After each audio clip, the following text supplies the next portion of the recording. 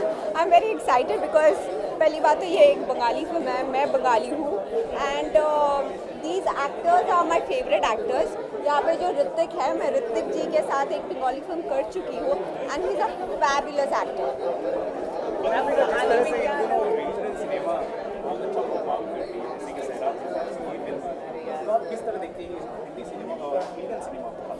So I think that uh, firstly we should not uh, discriminate between Bollywood, Tollywood and Collywood. Everything is Indian cinema and we, we are doing very well. So can we see you in future doing या I did a Bengali film अभी तो मैंने बताया ऋतिक जी के साथ मैंने एक Bengali film मैं कर चुकी हूँ बंगाल सिने- बंगाली सिनेमा भी काफी हद तक बढ़ रहा है तो उसके बारे में क्या बताएंगे like it's growing No, I think uh, Bengali cinema was always very powerful because uh, we have had directors like Ray who is making films for Bengal. So I think we are much ahead of uh, what we are seeing right now, the pan India. पता था dub games के बाद any upcoming project you want to share?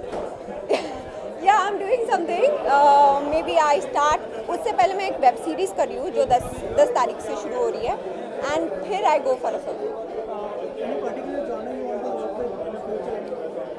nothing I don't look at genre genre ऐसा नहीं कि मैं कुछ particular genre करना चाहती हूँ but I am just looking for good characters good film good script good directors very important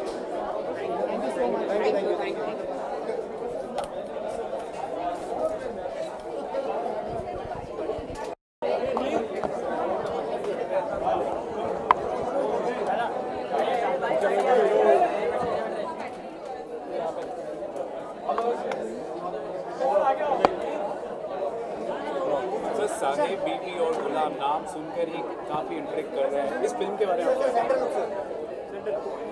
जवाब एक ही दो ना? इनका सवाल का जवाब। मैं यहाँ से पूछूँगा लेकिन कैमरे अच्छा सब ओके हाँ पूछिए। क्या पूछा था आपने फिर से? साहिब बीबी गुलाब नाम काफ़ी इंटरेक्ट करता है सुनने में। हाँ। एक्चुअली साहिब बीबी गुलाम तो हम लोग काफ़ी सालों से सुन रहे हैं। इस like classical name in Hindi Hindi फ़िल्मों में।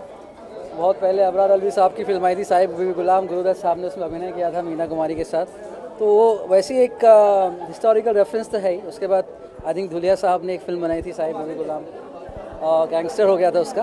तो आई थिंक ये एक नया मुझे लगता है ट्विस्ट है क्योंकि because it's in Bangla which is my mother tongue that's I am really excited to see it या इसके अलावा हम कोई रीजनल सिनेमा में आपको देख पाएँगे?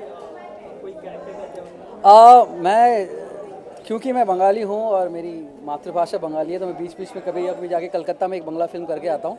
वो उसको बोलते हैं बांग्ला में टान देशे टान तो अभी रिसेंटली आई, मैंने बुद्धदेव दासगुप्ता की एक फ़िल्म की, तोप, जो टोरंटो इंटरनेशनल फ़िल्म फेस्टिवल में प्रीमियर हो रही है। उसके बाद भूसान जा रही है, उसके बाद London B F I festival में जा रही है। तो हाँ वो अभी उसके लिए टोरंटो जाऊँगा अक्टूबर में प्रीमियर पे। एक है फ़िल्म लेकिन वो अभी बताऊँगा नहीं। आई थिंक कुछ दिन में आपको पता चल जाएगा। क्यों नहीं बताएँगे अभी नहीं बता सकते। थैंक यू अगर डायरेक्टर ने मना किया। Thank you